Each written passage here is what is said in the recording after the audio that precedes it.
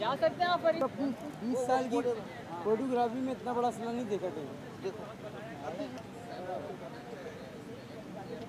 क्या हो गया support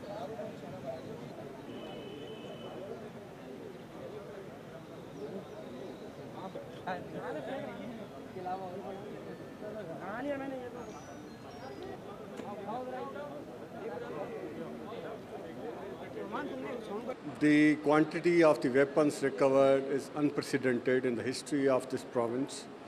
And all kinds of weapons has been recovered. It includes anti-aircraft guns, uh, hundreds of SMGs, hundreds of thousands of ammunition, besides uh, mortars, grenades, and all kinds of weapons.